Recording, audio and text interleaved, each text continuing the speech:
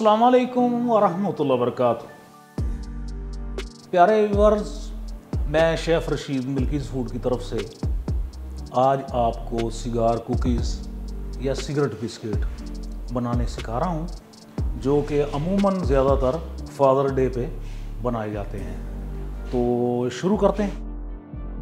जिसके लिए मैंने अंडे की सफ़ेदी, मैदा आइसिंग शुगर बटर और एलमंड पाउडर ये लिए इसकी रेसिपी आपको रेसिपी कार्ड में लिखी हुई मिल जाएगी।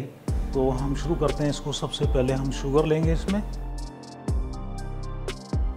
और बटर ये बिल्कुल तरीका इसका वही है जो टी केक बनाने का तरीका है। सेम वही तरीका है। मैं इस मिक्सर को मशीन में थोड़ा मिक्स कर लूँ और उसके बाद हम इसको हाथ से सारा ठीक कर लेंगे।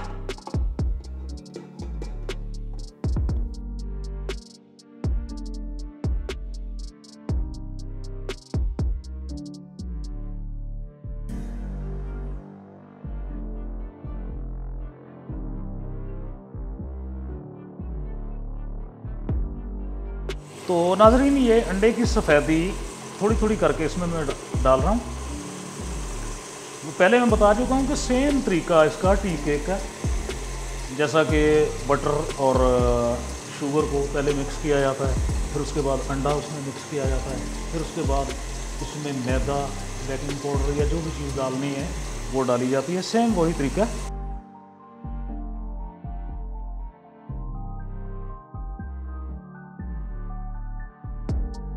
अब इसको मैं थोड़ा सा अंदर से मिक्स कर दूँ, ताकि जो साइड में लग जाता है मिक्सर वो सारा इसके अंदर एकदम मिक्स हो जाए।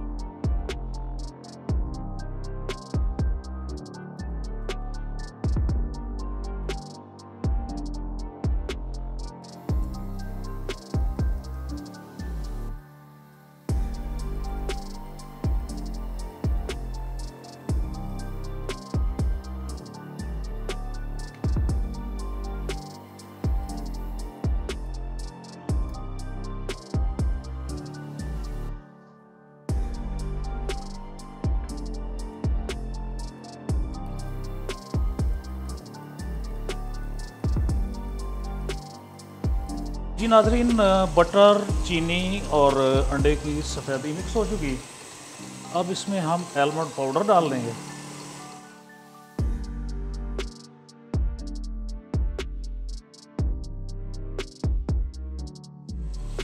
और उसके बाद साथ ही मैदा। मशीन को रोक के डालेंगे।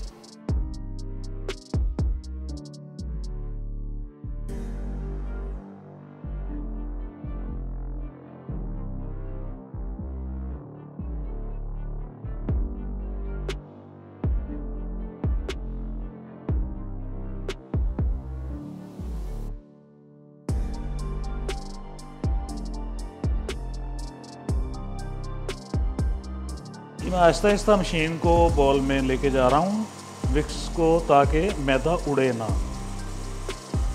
आहिस्ता से मिक्स होता चला जाए उसमें।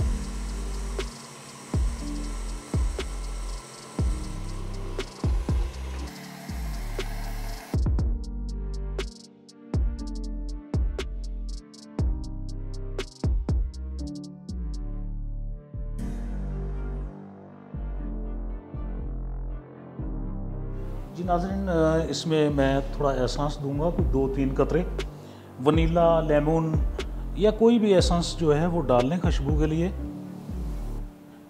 मैं इसमें बिस्किट फ्लेवर डाल रहा हूँ। अब इसको हम मिक्स कर लेंगे। जी नाजरीन हमारा मिक्सर रेडी हो गया। और अब हम इसको इस बड़े बॉल में निकाल लेते हैं। और अपना काम शुरू करते हैं।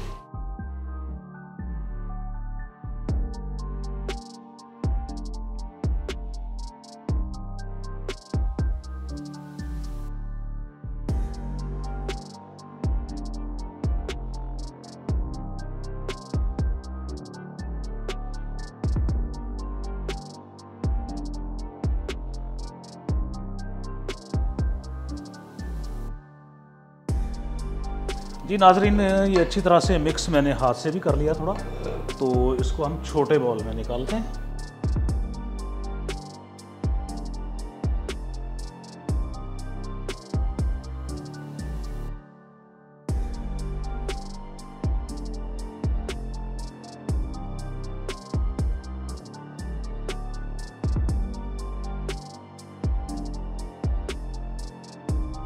तो नाजरीन, ये हमारा मिक्सर रेडी हो गया। ठीक है?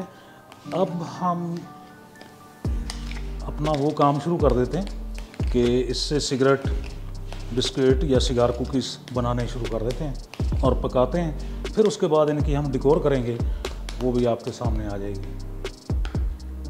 बस ये इतना सा मिक्सर है। अब इसके लिए हमें लेना है ये चीज़ें। ये देखें, ये मैंने एक गत्ते का ही बना लिया एक डब्बे का। वैसे तो ये स्टेनलेस स्टील का होता है तो ये पतला सा है, तकरीबन एक या दो सूत मोटा होगा ये गत्ता। ठीक है? और ये मेरे पास नलकियाँ हैं, जो अब इस काम में होंगी। ये सिलपट ट्रे है। ये सिलपट ट्रे के ऊपर मैं इसको रखूँगा और ये मिक्सर इसमें डालूँगा।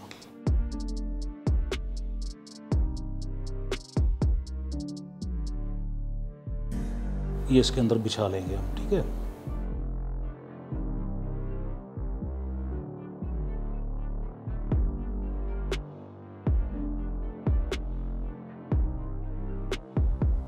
यहाँ से उठाया, यहाँ पर रख लिया।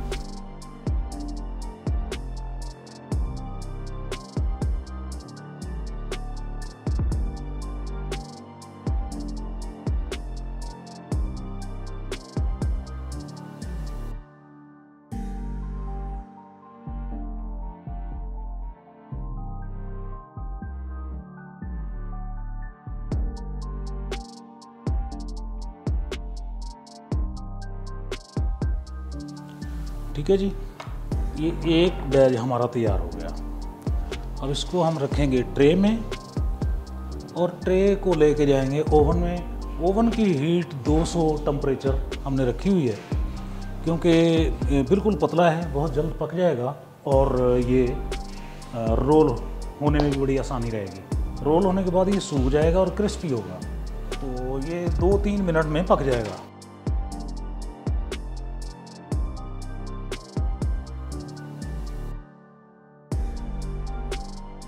जी नाजरीन, ये पक के आ गया तकरीबन चार मिनट में।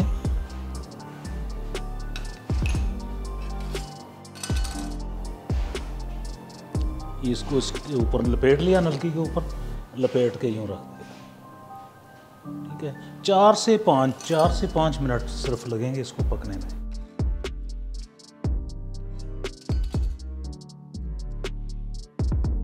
इससे ज़्यादा भी आप पका सकते हैं, लेकिन वो गोल नहीं होगा। वो वैसे गार्निश के लिए यूँ पत्ते से बन जाएँगे उसके।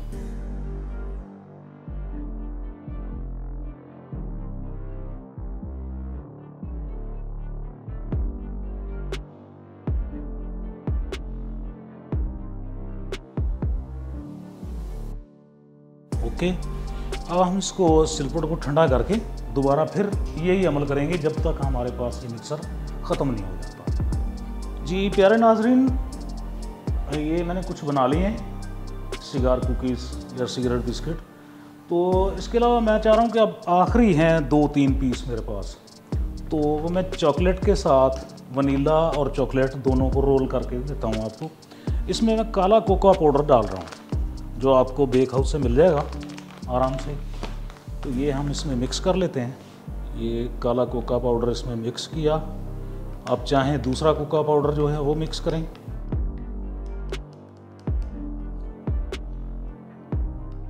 या कोई भी कलर इसमें दे लें तो भी ठीक है। क्योंकि इसका ये ये कलर आ रहा है ग्रे मैं इसमें दूसरा कोका पाउडर भी ऐड करता हूँ। जी, ये कोका पाउडर जो है, ये भी मैं इसमें डाल देता हूँ और ये बेक हाउस से आपको सब चीज़ें मिल जाती हैं।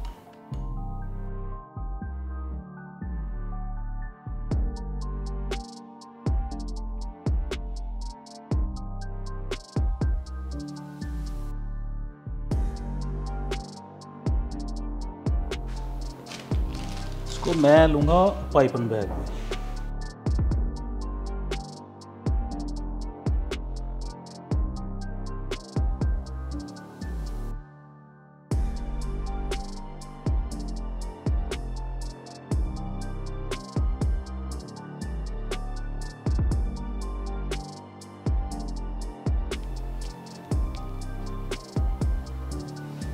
इस तरह से हम लाइनें लगा लेंगे इसमें।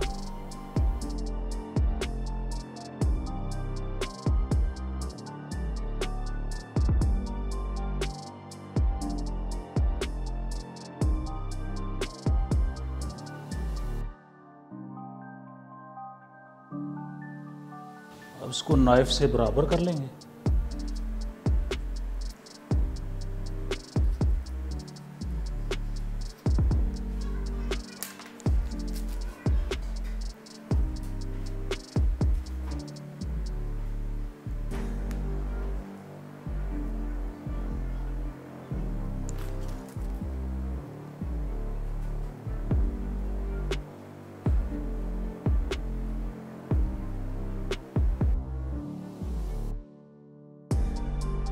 अच्छा ये बराबर करने से तकरीबन मिक्स हो गया था तो इसलिए मैंने इसको ऐसे ही छोड़ दिया, ये ऐसे ही पके।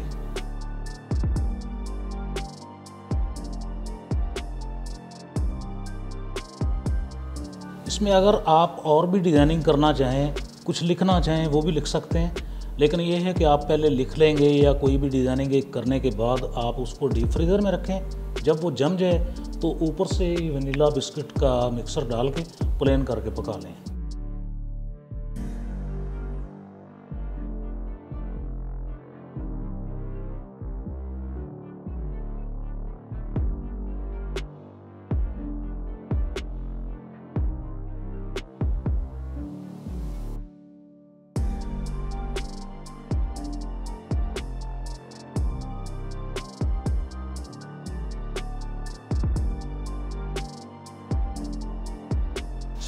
तरह से भी कर सकते हैं।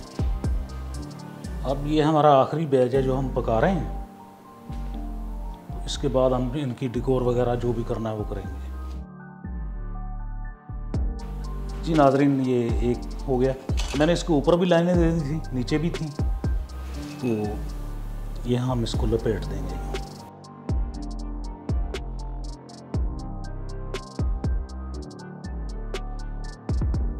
ये लिपटा हुआ दो मिनट पड़ा रहेगा, उसके बाद ये सूख जाएगा और क्रिस्पी हो जाएगा।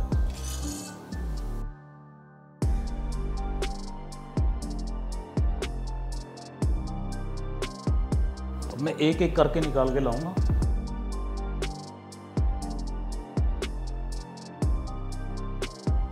पहले वाला सूख चुका।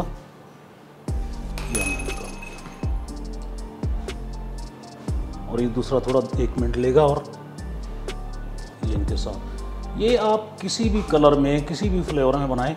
अच्छा इसके बाद इनको आपने अगर केक की तरह, टी केक की तरह नरम रखना है तो आप ये जो नरम वाला है, इसके अंदर आप क्रीम फिल करें, इसमें चोको हेज़ फिल करें। इसमें कोई भी फीलिंग आपको जो अच्छी लगती है, मलाई वगैरह, वो इसमें डाल लें और बच्चों को खिलाएँ चाय के साथ। बेहतरीन है, खुद भी खाएँ। और अगर आपने क्रिस्पी रखना है कि ये आखिर तक बिस्किट की तरह क्रिस्पी रहे, जैसे कि वेफर होता है। तो आपने ये बिल्कुल सूखा हुआ लेना है। ये बिल्कुल सूखा है, अगर मैं इसको गिराऊँगा तो ये चूरा चूरा हो जाएगा अभी। तो इसको आपने चॉकलेट में डिप कर लेना है। चॉकलेट में डिप कर लेंगे आप तो इसके अंदर फिर मॉइस्चर नहीं जाएगा, ना हवा जाएगी, और ये आखिर तक क्रिस्पी रहेगा। लेकिन उससे मीठा ज़्यादा हो जाएगा चॉकलेट लगाने से। तो वो लगा के उसके बाद इसमें जो मर्ज़ी फिलिंग करें।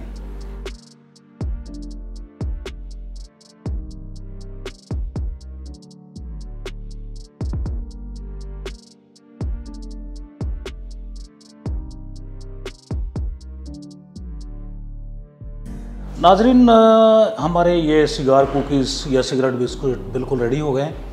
अब, इनके बारे में मैं ये बता रहा हूँ कि इनकी डिकोर किस तरह से की जा सकती है और मज़ीद आप आगे क्या कर सकते हैं?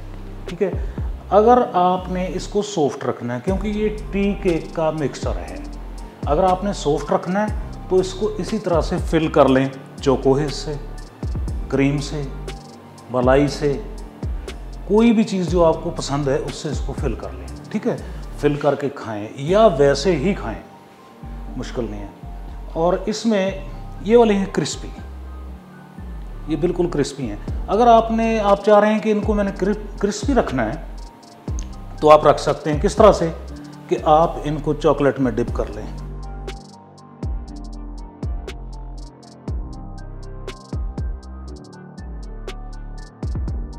चॉकलेट में थोड़ा सा ऑयल मिलाएँ और इनको डिप करें। आप हैवी चॉकलेट लगा लें या बिल्कुल नॉर्मल सी लगाएँ, वो आपकी मर्ज़ी है। ये इसको यूँ लगा के आप रख दें, ठीक है? ये अंदर बाहर से अब कवर हो चुका है। इसमें ना मॉइस्चर जाएगा, ना हवा जाएगी तो ये क्रिस्पी ही रहेगा। और इसी तरह से एक जो है वो मैं ये मिल्की चॉकलेट में कर देता हूँ। ये एक आइडिया के तौर पे है। और इसकी बहुत सारी शक्लें बन सकती हैं, आप बना सकते हैं। और अगर चॉकलेट ज़्यादा रखें आप तो इसको आराम से इसमें डुबो के बाहर निकाल लें। और उसकी मकदार है गलेक्सी चॉकलेट की, यानी अगर 100 ग्राम चॉकलेट है तो 50 ग्राम उसमें आपने ऑयल डालना है। ठीक है जी? ये हो गया एक, और इसके बाद मैं थोड़ी सी और भी कोई डिकोर आपको दिखा देता हूँ।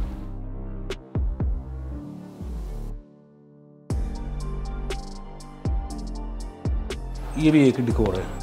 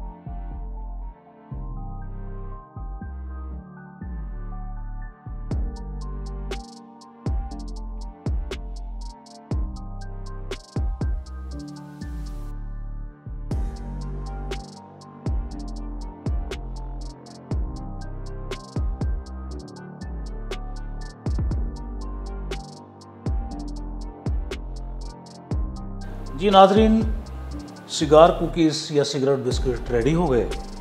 और मैंने ये फिल नहीं किए, ये दो तीन बिस्किट जो हैं वो मैंने फिल किए हैं विपी विप क्रीम से। बाकी छोड़ दिए हैं, क्योंकि आप जो चाहें इसमें फिलिंग आप इस्तेमाल कर सकते हैं। ठीक है? जी नाजरीन, आप बनाएँ और इसका फीडबैक भी दीजिएगा कि आपको कैसी लगी रेसिपी और हम फादर डे पे इन ये वाले बनाएँगे। जो कि बिल्कुल जो जो फीलिंग होती है उनमें वो करके, और ये बड़ा लंबा चौड़ा इसका काम होता है, वो सारा करेंगे। तो नाजरीन अगली वीडियो तक के लिए मुझे इजाज़त दें। मैं शेफ़ रशीद कुछ नई वीडियो लेके आपके सामने फिर हाज़िर हो जाऊँगा मिल्कीज़ फ़ूड की तरफ़ से। अब मुझे इजाज़त दीजिए। अल्लाह हाफिज़। मसला